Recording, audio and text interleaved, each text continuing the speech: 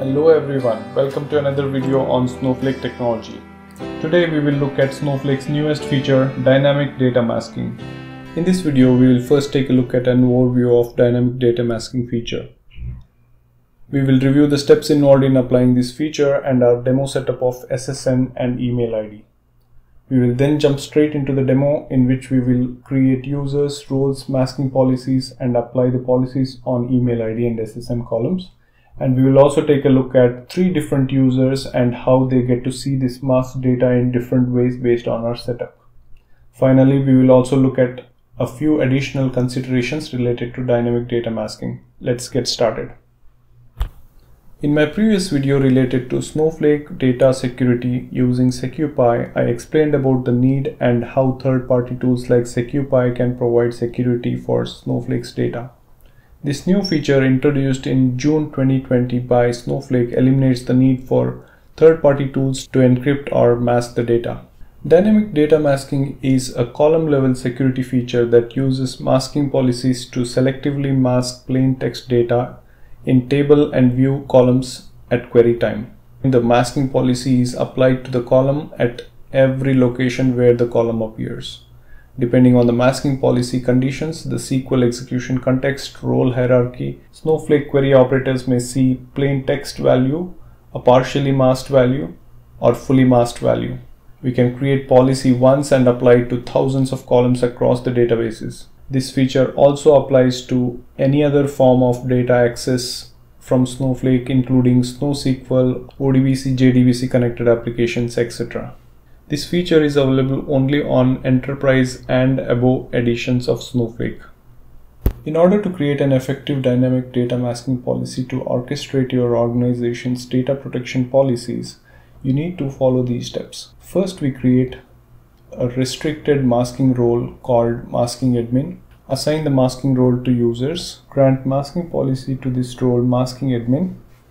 Create individual or custom policies as per your needs.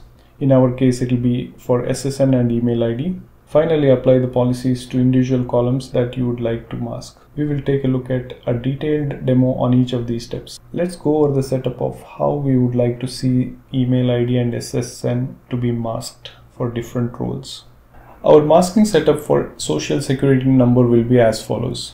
It will be fully visible or unmasked only for masking admin role users and everyone else including account admin, security admin, etc. gets to see fully masked social security number. Our email ID setup will have unmasked email IDs for masking admin role users. Account admin will see partially masked email IDs. Only the domain name of the email ID will be visible to them. And everyone else, including sysadmin, public, and other users, will get to see fully masked email ID, meaning they do not get to see any email ID related details Let's get on to the demo. In order to generate the customer's data with email ID and SSN, I used a website called Generate Data, which generates nice SQL statements, and I'm going to execute that.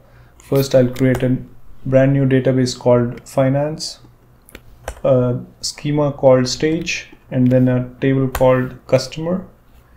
And then I insert all 100 records. So as you can see, email IDs are all unmasked SSNs are also unmasked uh, the data as is. Now we will apply the masking policies and then we should start seeing the difference. Let's zoom this a little bit. Okay, this looks good. Open, let's open a new tab so that we can keep the commands separate. Now I'll create a new user called PII user. This is the user who will have access to create and mask the data. So I created the new user now I want to grant this role to PII user. I would like to grant select all tables in the schema stage to uh, masking admin. In addition, I would like to grant all privileges on database uh, finance to masking admin. I would also like to grant the usage privileges of compute warehouse to masking admin.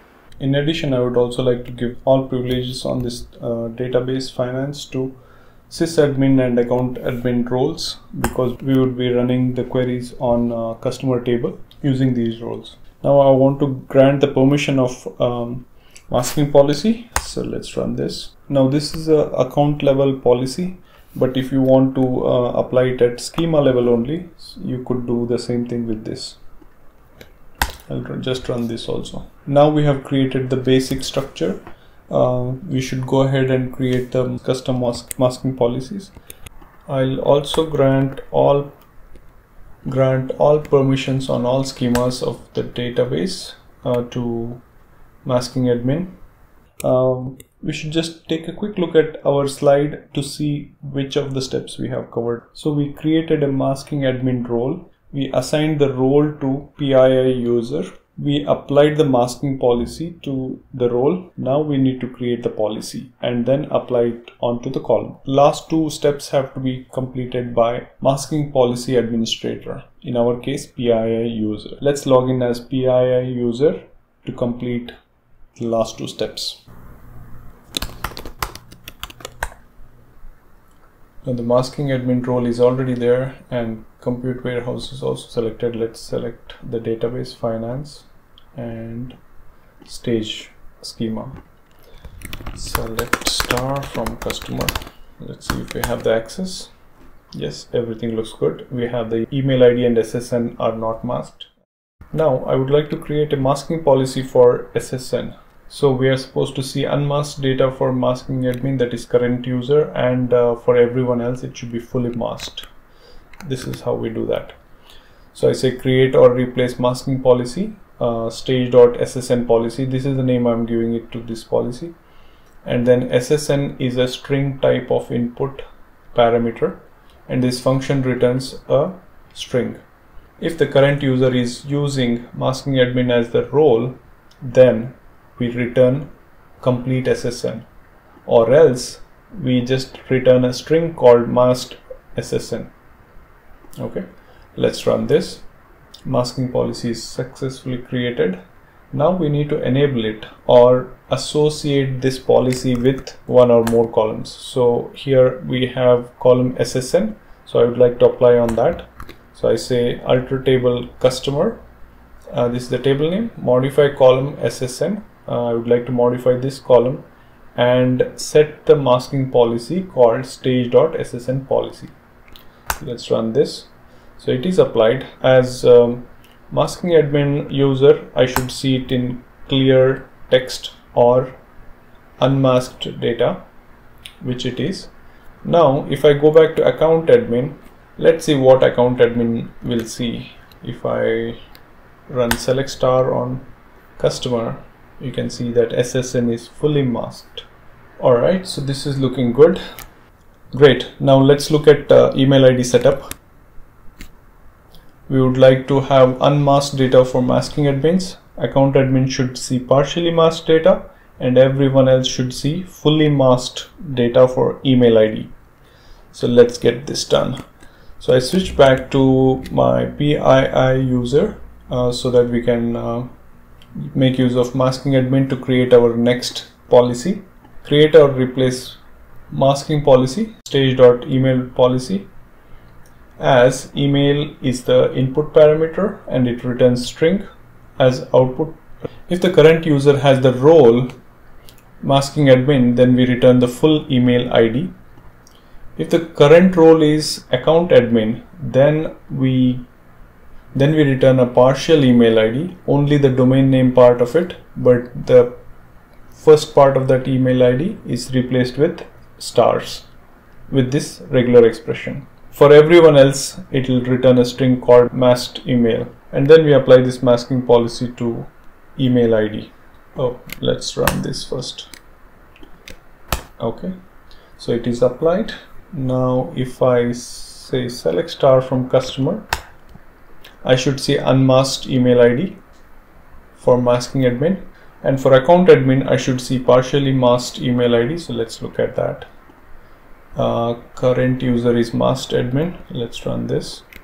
We see that email ID is partially masked with its domain names visible and the first part of the email ID is having stars. Great. This is what was expected in partially masked email IDs now let's switch the role to sysadmin and see what we get. Sysadmin, finance. Oh I don't have the schema here. Let me grant schema privileges to sysadmin. I also need to grant access to all the tables of finance database to sysadmin. And I need to do that from account admin and not sysadmin. So let's change that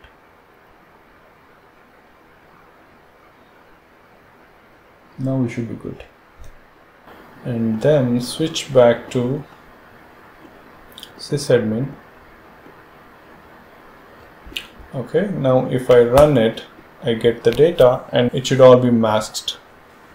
So as expected we see masked email masked SSN for sysadmin and everyone else will see the same kind of uh, masked email ID and SSN so this is how you protect your data so there we go. We saw three different ways in which we will see the data based on how we have applied the masking policy. So that concludes the demo. I would like to show you the dynamic data masking related documentation on Snowflake's website that provides examples such as calling a user defined function or returning an encrypted hash value etc. That's a wrap for the demo. To conclude, this is a great new feature by Snowflake that would help organizations data governance and facilitate applying privacy policies not just for external users but even safeguard the data at rest from internal users. This feature will also eliminate the need for third-party encryption masking and data security related products. Hope you loved learning about dynamic data masking feature of Snowflake's newest feature. I am available on social media through these mediums you can message me on Snowflake group of WhatsApp. Connect with me on Twitter and LinkedIn. You can also get the source code of all my videos on my GitHub link. Thanks for over 1000 subscriptions on my channel. Please consider subscribing if you haven't already subscribed to be updated about the latest videos that I keep adding. Thank you.